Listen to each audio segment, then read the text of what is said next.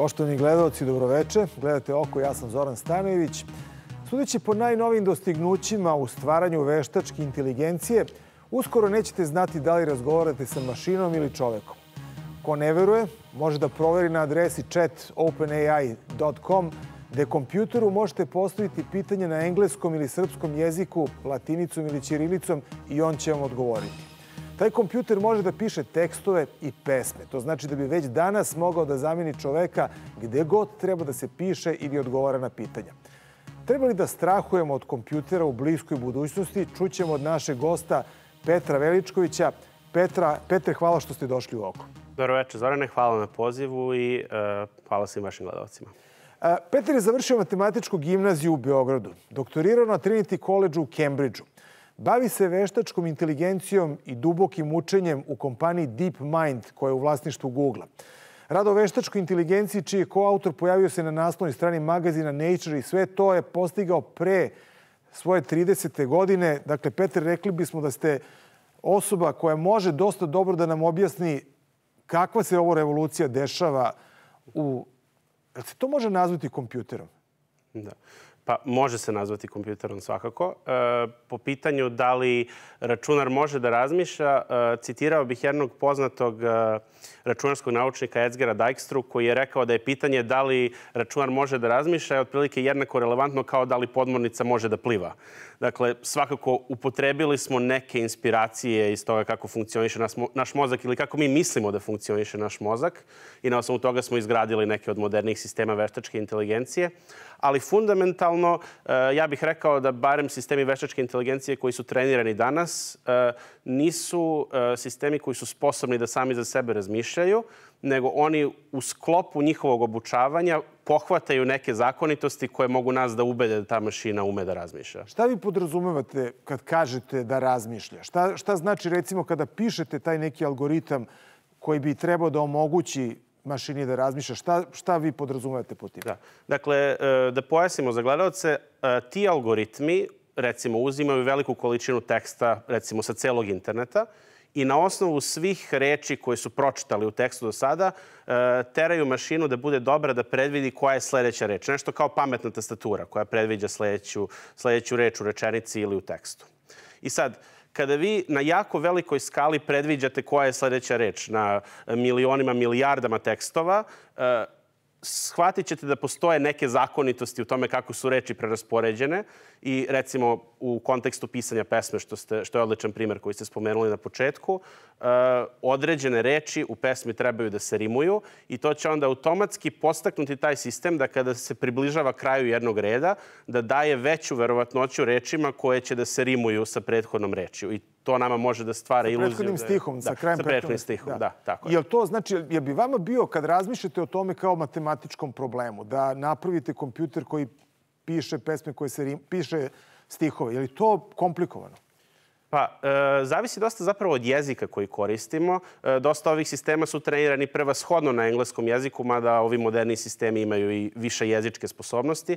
I tu se odmah može primetiti da recimo pesme koje mu tražite da vam napiše na engleskom jeziku su daleko koherentnije i zvuče ubedljivije nego recimo pesma napisana na srpskom jeziku, gde možda i dalje nema potpuno vladanje e, sa time šta bi jedna rima, kako bi jedna rima trebalo da izgleda u, u jednom takvom jeziku. Pa dobro i da, kontekst je tu bitan. Znači, kad se yes. piše pesma o nečemu, on mora da razume kontekst pa da, što se kaže, da malo dosoli. Upravo, da. Znači, taj sistem takođe mora da ima razumevanje e, kakav će stih najviše uticati na čitaoca iz neke sredine ili neke države i da bi to jedan sistem takav mogao da zna, on mora da vidi jako mnogo teksta, konteksta, istorije, kulture jednog naroda, je li tako?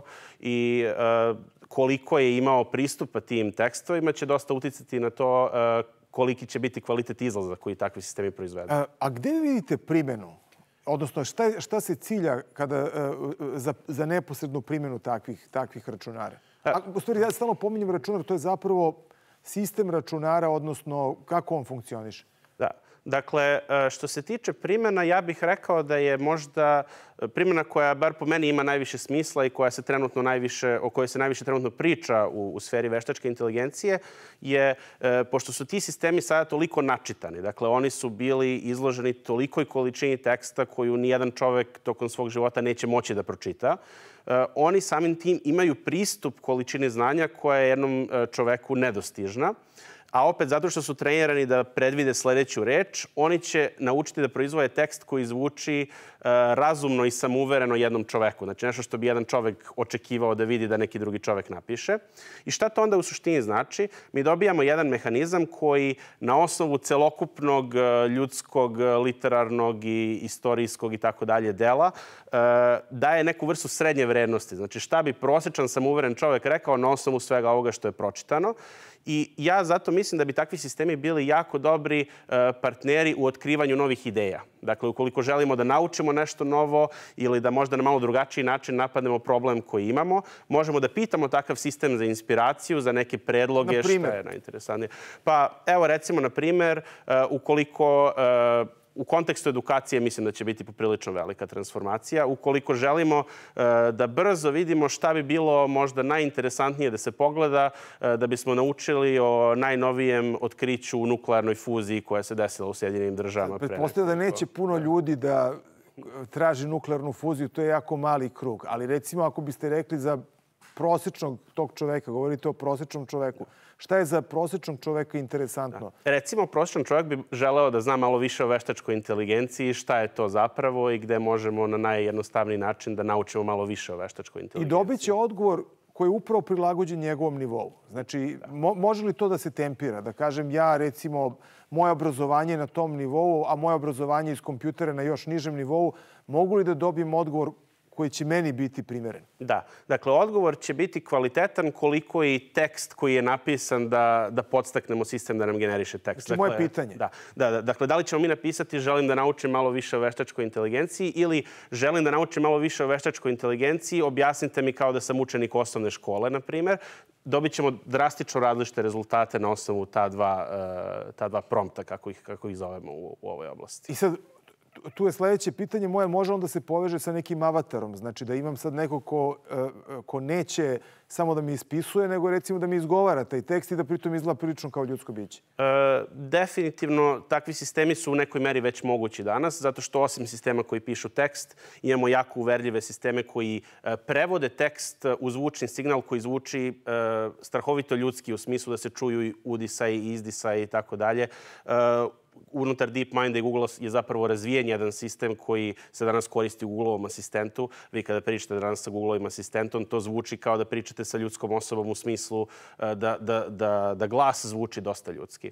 Tako da takve vrste sistema mogu bez nekih većih problema da se ukombinuju i sad zavisi šta nam treba. Da li nam treba e, glas, da li nam treba možda neko kretanje, neki, neki baš... E, Ali dobro, hoćete da kažete, to nije to nije neka naučna fantastika. To je nešto što, je, što nam je prilično blizu.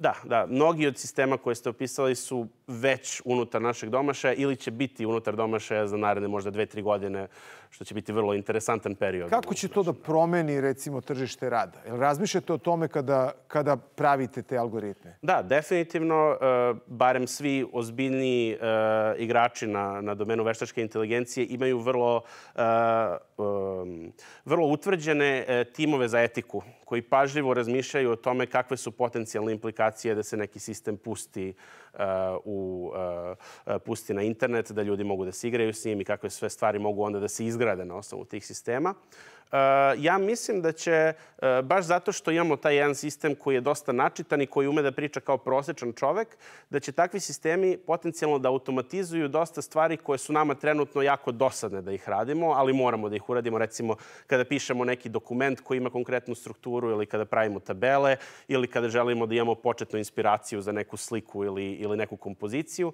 Ovakav sistem može da nam da početni, uh, početnu neku matricu koja će zadovoljiti neke osnovne zakonitosti koje bismo očekivali od tako, neke, e, tako nekog dokumenta i onda će ljudi e, manje vremena provoditi radeći te suvoparne stvari, a daleko više vremena će provoditi radeći zapravo kreativan deo procesa i e, praveći više kvalitetniji sadržaj, jer će manje vremena provoditi... Recimo, ako nas sad gledaju lekari, koji se žele da imaju puno administrativnog posla.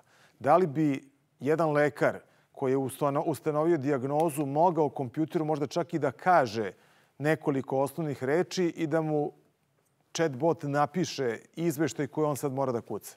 E, definitivno već postoje određeni sistemi. Zapravo mislim da je Google izbacio pre nekoliko dana jedan takav sistem. Dakle, jezički model koji na osnovu neke vrste istorije pacijenta i merenja i tako dalje e, daje neke određene ideje šta bi potencijalno mogla da bude diagnoza. Ti sistemi, naravno, po meni nikada neće zameniti... Ja, ja, ja više govorim o pisanju, da. ja ne govorim o tome da on daje diagnozu. Ja govorim o tome da lekar da diagnozu, ali da kaže umesto sad da kucam ceo izveštaj, ako on već ima neki određeni format, ja mogu prosto kompjuteru da kažem da mi on popuni taj, ja ću da dam osnovne elemente koji su potrebni, a on neka popuni. To mogu da, da rade lekari, sudije, razni ljudi koji moraju da pišu izveštaje koji su im ugla, to upravo zamorni za kucanje. Da. da, takve stvari u smislu sumarizacije teksta i izvlačenja glavnih zaključaka ili popunjavanje nekog konkretnog formulara, to je definitivno već moguće. Nije 100% precizno, ali uradi dobar deo posla da onda čovek može samo da preleti preko toga i napravi neke sitne korekcije i to je to. E, vi se bavite dubokim učenjem. To se zove deep learning. Ne znam da li je to najbolji prevod.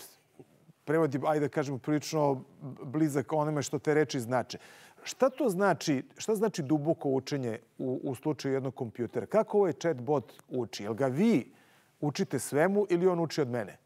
Uh, odlično pitanje. Pre svega, u smislu dubokog učenja, uh, metode veštačke inteligencije se generalno zanimaju za izgradnju inteligentnih sistema i mašinsko učenje je e, grana veštačke inteligencije koja pokušava da uzme podatke kojima mi imamo pristup i na osnovu njih obučava ovakve sisteme koji su sposobni da uoče neke zakonitosti u tim podacima.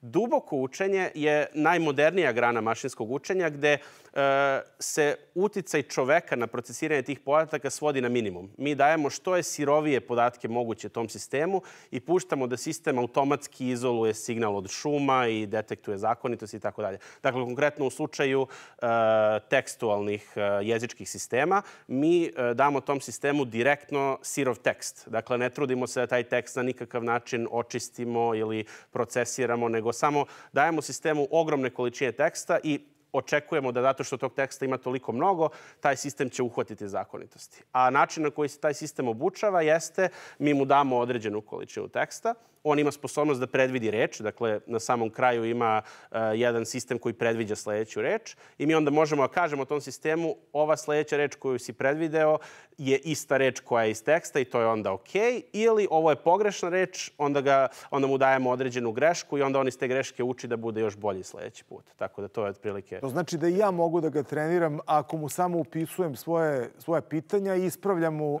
popravlja mu greške koje je napravio, sledeći put tu grešku neće ponoviti. Da. E sad, imam tu dva etička pitanja. Prvo je, da li se vi plašite da se ovakav sistem koji ste vi između ostalih doprinili njegovom nastanku, da se otme kontroli i da u tom svom dubokom učenju prevaziđe čoveka? E, što se tiče etičkih problema, ja mislim da je veštačka inteligencija kao i svaka druga tehnologija, ukoliko ne upadne u prave ruke ili se ne koristi na pravi način, može e, pojačati recimo probleme sa diskriminacijom u društvu ili u suštini koje god stereotipe vidi u podacima može dodatno da ih pojača ukoliko nismo pažljivi. Ako, ako je hranimo stereotipe. Da, tako je. Međutim, e, ja mislim da je jako, do, mislim, meni uliva nadu to što su sve veće firme koje zapravo trenutno prave ove sisteme prepoznale taj problem vrlo rano i od početka imaju vrlo aktivne timove za etiku i za fairness i tako dalje koji pokušavaju aktivno da treniraju te sisteme da budu poravnati sa ljudskim vrednostima, šta god to značilo. Dakle, uh, imam, imam veliku veru da se ti sistemi razvijaju što je bolje moguće, a ti sistemi kao sistemi zasnovani na učenju s podacima će svakako da se pojave sa, ono, mi ako imamo kontrolu na tim sistemima sa našim etičkim timovima, bit će svakako bolji ishod nego da e, neki drugi igrač krene ali, da razvija. Ali, dakle, ali može da ih koristi neko da ga nahrani potpuno negativnim podacima i da dobija totalno negativne rezultate i da ga zapravo iskoristi da na društvenim mrežama recimo u, u hiljadama ovih kako se zove, chat botova napada na druge ljude. To se već desilo e, na društvenoj mreži 4chan, koja je jako poznata po izuzetno negativnom sadržaju ili e, i, i tu je jedan, e, jedan naučnik odlučio da trenira sistem samo na stvarima koje ljudi pišu na 4chanu, da bi video kako najgori mogući sistem za generisanje teksta može da izgleda. I taj sistem je zaista generisao tekst koji je zvučao kao neki prosečan posetilac tog foruma. Dakle, znači nešto najnegativnije što da prosječan čovjek može da zamisli. Drugo etičko pitanje, ako smo neki tekst uh, radili pomoću chatbota, treba li to uh, na neki način da naznačimo, kao što recimo moramo da naznačimo da neki proizvod koristi GMO? Da. E, pa ja bih to svakako želeo da se naznači i mnogi od većih firmi već rade na takozvanim watermarkovima gde se vrlo unikatno može prepoznati da je ovaj sistem generisao uh, chatbot, dodavanje nekih space-ova na par mesta ili zapeta gde ne bi trebalo ili tako dalje. E, I ovo je zapravo odlično pitanje jer se nadovezuje na etičku diskusiju. Iako imamo te sisteme koji, ako se loše treniraju, mogu dovesti do negativnih rezultata, imamo i jako dobre detektore za te sisteme. Dakle, sistemi koji danas treba da prepoznaju da li je nešto došlo od čoveka ili od chatbota, zato što se chatbot toliko truji da bude savršen, prosečan čovek. Jako je zapravo lako detektovati ako je neki tekst došao od chatbota i profesori se recimo već javljaju po internetu da su uhvatili neke od svojih učenika i studenta da su pokušali da prekopirane sastave... E, da, ali da li bi mogao, recimo, kad imao manjak profesora, a treba da predaju neko gradivo koje je, ajde da kažemo, običajno, ajde da kažemo neko gradivo osnovne škole, Da li bi tu chatbot mogao da uskoči i da umesto, znači tamo gde ne možemo da imamo profesora, da ga on zameni na času, recimo kad je bolestan? Da. E, Pa ja... I da komunicira, da, da odgovara, da odgovara đacima na pitanja, znači da bude, da bude komunikativno. Da. Dakle, takvi sistemi su definitivno mogući, ja mislim, u relativno skoroj budućnosti, znači naredne možda dve, tri godine. Sistemi koji bi mogli do neke mere da komuniciraju sa učenicima, da im predlažu šta da čitaju i možda čak i da odgovaraju na njihova pitanja. Međutim, po meni taj sistem nikada ne bi u potpunosti trebao da zameni profesore, zato što ti sistemi, baš zato zbog načina na koji su trenirani, nikad neće moći da prenesu onu vrstu anegdote, entuzijazma koju jedan ljudski profesor može da prenese i to zapravo daje učenicima entuzijazam da to nauče. Ali možda neka vrsta interesantne sinergije između ovih sistema i profesora će definitivno nešto s čim, s čim ćemo se vratno susresti u narednim godinama. To sam teo, to sam teo da pitam, da li možda smisli vic? E, da, ti sistemi već vrlo aktivno smišljaju viceve. Sad zavisi... Šta je kome smešno? Da, zavisi od smisla za humor, ali e, vicevi su uglavnom napravljeni tako da ne zvuče preterano veštački. A da li mogu da prepoznaju moje raspoloženje? Znači, da li mogu da osete, ako oni sami nemaju emociju, da li mogu da prepoznaju moju emociju? E, pa ja bih rekao da verovatno mogu, zato što su daleko jednostavniji sistemi u prošlosti trenirani, recimo da pogledaju nečiji izraz lica ili ton njihovog teksta, recimo da se automatski klasifikuje da li je, neki, e, da li je neka recenzija filma pozitivna ili negativna. Dakle, takvi sistemi postoje već godinama i oni to automatizuju na velikoj skali za sisteme poput Amazona i tako dalje, koji imaju dosta recenzija od korisnika. Tako da, e, uopšte me ne bi začudilo da jedan takav sistem može kao neku podzakonitost da detektuje koliko je, e, koje su emocije koje trenutno osjeća pisac nekog teksta i to onda može i da se iskoristi. Ili recimo u telefonskom pozivu, znači da čuje da sam uzrujan ili da čuje da sam veseo ili tako nešto i da na osnovu toga zaključi kako treba da mi se prilagodi. Na telefonskom pozivu je to definitivno lakše nego na tekstu, jer na telefonskom pozivu se čuje intenzitet tona i tako dalje. I postoje već mnogi e, startupi u svetu koji imaju automatizovane sisteme za call centre i dijalog. Jedan zapravo naš uh, naučnik Nikola Mrkšić je napravio jedan takav startup uh, pre par godina u Londonu, Poly AI se zove. I sada veliki broj call centara u Engleskoj recimo koristi automatizovane uh, chatbotove koji sintetišu glas, zato što je većina stvari koje ljudi pita u call centru su relativno jednostavna formulaična pitanja i to zvuči kao dobar kandidat za automatizaciju. Pomenuli ste svog kolegu Nikolu, je sad tu imamo večno pitanje ovde u Srbiji. Jesmo li mi posebno talentovani za informatiku, pa i recimo za matematiku, kao što volimo da se priča, kao što smo recimo možda za košarku, vaterpolo i slično? Pa po mom mišljenju, ja mislim da smo definitivno nadprosečno talentovani kao, kao nacija. Takođe imamo i jako dobre institucije koje pomažu ljudima da se ja, dodatno... Po, po mišljenju ili imate podatke? Uh, pa, big imam... data koje mogu da to... pa podatke koje imam je e, koliko naših učenika recimo dobija mesta na najprestižnijim univerzitetima s razmerno broju stanovnika, koliko naših ljudi je trenutno zaposleno u ovim velikim firmama veštačke inteligencije poput DeepMinda. To je jedna jako značajna proporcija na osnovu toga koliko mi imamo stanovnika. Tako da... Jel imate srpsku sekciju u DeepMindu? Uh, imamo definitivno. Ima nas trenutno, ja mislim, jedno 7-8 iz Srbije. Zapravo troje nas je u istom timu takođe, tako da dosta dobro sarađujemo. I čime se bavi tim? E, tim se bavi e, velikim brojem problema. Ja se konkretno bavim e, sistemima koji mogu bolje da rezonuju, pošto to je nešto što trenutno chatbotovi ne umeju baš najbolje da rade.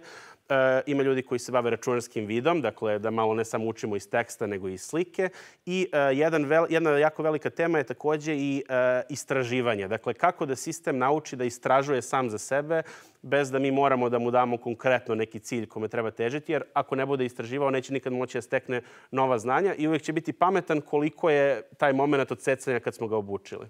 A spomenuli ste mi bili e, pre ovog razgovora da se bavite, odnosno da se DeepMind bavi Google mapama. Da. Na koji način? Pošto da. Google mape manje više svi koristimo svakodnevno. Definitivno, da. Dakle, pre ovog trenutnog rada o rezonovanju sam bio član tima u DeepMindu koji je razvio sisteme mašinskog učenja koji predviđaju vreme putovanja u Google mapama. Dakle, vi kada otvorite Google mape i kažete želim da odem od mesta A do mesta B, Google mape predlože nekoliko puteva i za svaki put kažu koliko vremena je potrebno da stignemo od mesta A do mesta B. To je jako važan podatak ne samo za nas kao korisnike, nego i za mnoge aplikacije koje koriste te sisteme da vam kažu kada će nam stići hrana, kada će nam stići taksi tako dalje. To znači da taksisti sada kada se pojavi problem u tom imaju da kažu Petre, šta je ovo? Da, često, često volim da kažem kada se, kada se pojavljujem na, na podcastima, da svakako kažite mi ukoliko nešto ne valja, možete meni da se požalite. Ne, ja sam mislio, oni vole da opsuju nekoga, pa da nekog konkretnog da zamisle, ovo je ovaj Petar pravio pa mi trenutno nešto ne radi. Da. Je vam se žalio nekad neko da mu, da mu taj sistem ne radi? Lično vama? Je e, uglavnom vrlo šaljivo. Ljudi, ljudi sa kojima ja sam pričao o sistemima pre i nakon što smo ga pustili u rad, dakle, naš sistem naravno nije uvek savršen, ali je bio preko 40-50% bolji od Googleovog prethodnog sistema e, u velikim svetskim gradovima. Tako da dosta ljudi je rekao da su se zaista predviđanja poboljšala nakon što smo taj sistem pustili u rad. Da. Da bi se neko bavio veštačkom inteligencijom, je li neophodno najprije doktorira na Cambridgeu? Uh, uopšte nije neophodno doktorirati ni na Cambridgeu ni bilo gde drugde. Zavisi dosta čime osoba želi da se bavi. Ako ljudi žele, uh, ako neka osoba želi da se bavi konkretno razvojem baš tih sistema u smislu nove ideje, nove arhitekture, novi problemi koje nismo do sada dirali, poput taj problem istraživanja, uh, tu uglavnom je potreban doktorat da bismo dobili poziciju na nekoj firmi ili na nekom univerzitetu. Da se baš... Pa zato što doktorat je jedna vrsta potvrde da ta osoba ume u relativno kratkom vremenskom vremenskom periodu 3 do 4 godine e, da e, bez ikakvog posebnog navođenja reši jedan veliki otvoren problem. I to je onda neka vrsta ulaznice da ta osoba može samostalno recimo da vodi istraživački znači, tim. Nije, da, bitno, da, nije bitno šta je bila tema doktorata. Doktorat samo pokazuje sposobnost da se problem neki reši? E, korisno je da doktorat bude, ako neko baš hoće da bude naučnik iz te oblasti, korisno je da doktorat bude u oblasti STEM-a, dakle nauka, tehnologija ili matematika, ali sama tema doktorata nije toliko mnogo bitna. Da. A, šta je vas opredelilo da se bavite ovom temom? Ja sam zapravo uh, u ovu oblast došao malo interesantnim putem. Hteo sam prvo da se bavim uh, biologijom, bioinformatikom. Dakle, dosta sam radio takve vrste problema. Uh, I moj mentor eh, na Cambridgeu, kada sam s njim radio diplomski rad, mi je rekao danas gotovo svi u bioinformatici kreću da se bave mašinskim učenjem, tako da bi ti bilo pametno to da naučiš ja sam to naučio kao jednu ulaznicu u rad na biološkim problemima. I tokom mog doktorata sam radio na dosta problema koji imaju veze sa biologijom i medicinom, ali s vremenom sam odlučio da se posvetim malo fundamentalnijim problemima poput rezonovanja, na osnovu kojih onda možemo da utičemo na mnoge oblasti, uključujući biologiju. Ali svejedno, ako se bavite veštačkom inteligencijom, morate da budete naučnik. Za razliku, recimo, od programiranja gde neko može to da nauči, što bi se reklo, da ne bude naučnik, nego da nauči usput. Da. To je nekada bila situacija, danas više nije. Dakle, ukoliko neko samo želi da implementira te sisteme i da ih skalira, da bude što mi zovemo naučnik inženjer, dakle ne naučnik istraživač, nego naučnik inženjer, za tako nešto je dovoljan, e, dovoljna je diploma osnovnih studija ili master studija i jedna velika želja za, za upijanje novih znanja i za generalno e, rad na sebi. Imamo jedan jako svetao primer iz Srbije, zapravo Aleksa Gordić, koji bez bez formalne završene master diplome ili bez ikakvih konkretnih studija veštačke inteligencije, on potpuno samouko otišao na YouTube i čitao naučne radove, opisivao ih e, za njegove gledaoce, implementirao ih i na osnovu toga je privukao pažnju moje kompanije DeepMinda i on sada tamo radi kao, e, kao istraživač inženjer. Tako da to je definitivno moguće. Jednu stvar moram da pitam koja zbunjuje ljude kada su chat botovi u pitanju, a to je da chat bot ne ume da rešava jednostavne matematičke zadatke. Recimo, e, jedna šala ima da ne ume da odgovori ispravno na pitanje ako četiri automobila za dva sata stignu od tačke A do tačke B, koliko treba da to prevale osam automobila, odnosno koliko vremena treba za osam automobila, on kaže četiri sata. Suštinski on e, ne sabira, to jest mi, mi mešamo tu neke stvari, je li tako? Da, upravo tako. Znači, taj sistem je otprilike ima neku ideju šta bi trebalo sledeća reč da bude na osnovu ovog konteksta i sada ima neki osjećaj ako se duplirao broj automobila da će se duplirati vreme putovanja. Dakle, on, on, on zapravo da. vreme tretira kao što se tretira benzin. Da. Znači koliko treba benzina, ako je 20 litara za 4, 40 litara za... Ali tu fali, recimo, mi ga ne pitamo ako krenu u 10 i stignu u 12. Da li bi to nešto promenilo? Da, znači to je, uh, moguće je promeniti donekle izlaze tih sistema, kao što smo pričali ranije. Ako ih pažljivo pitate, recimo, razmišljaj mi o ovom pitanju korak po korak, pažljivo izračunaj šta, šta pričaš i tu može se desi ponekad da dođe do tačnih rešenja.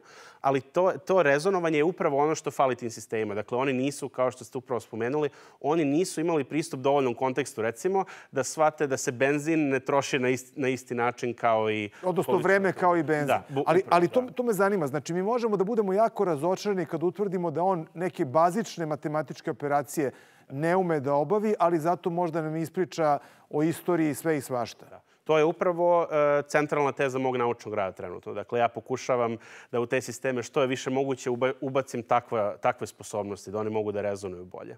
A... Pomenuli ste uh, srpsku sekciju, odnosno rad u DeepMindu. Kako izgleda zapravo rad u takvoj kompaniji? Da. To je...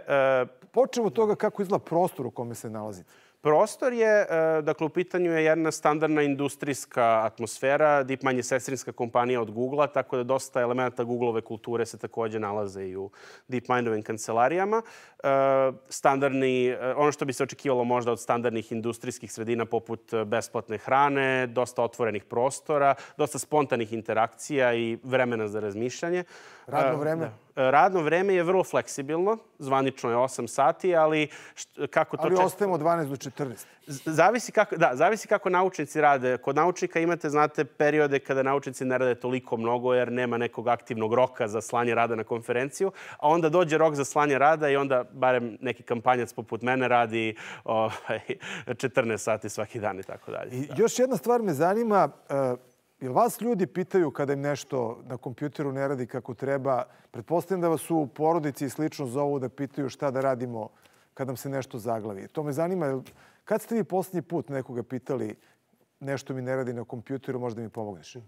Pa na tom nivou zapravo uh, pitam i dan danas ljude uh, da mi pomognu ako se nešto zaglavi na računaru. Uh, to je zapravo jedna, jedno jako dobro pitanje zato što ljudi koji su trenirani da budu računarski naučnici ili baš neka onako uska specijalna oblast računarske nauke, ti ljudi su daleko više možda radili matematike nego nešto što bi im trebalo da bi sad popravili neki kvar na računaru. Ja naravno razumem dosta o tome kako računari rade i otprilike znam šta bi trebalo da se radi, ali često ne mogu ja da popravim neki problem brže nego neko ko uh, stalno popravlja jednu istu vrstu problema. Tako znači, da, ne radi mi štampač, je moguće da Petar kaže, e, može neko im pomogne, ne mogu oštavno dokument. Ne da je moguće, nego u našoj firmi imamo sistemski tim kome se obraćamo za takve probleme svaki dan. Bez obzira što ste DeepMind naučnici. Bez obzira, da. Uh, još jedna stvar, evo posljednje pitanje. Da li biste dozvolili kompjuteru uh, da vas vozi automobilom ili avionom? Znači, Odlično. Znači da nema živog čoveka. Da.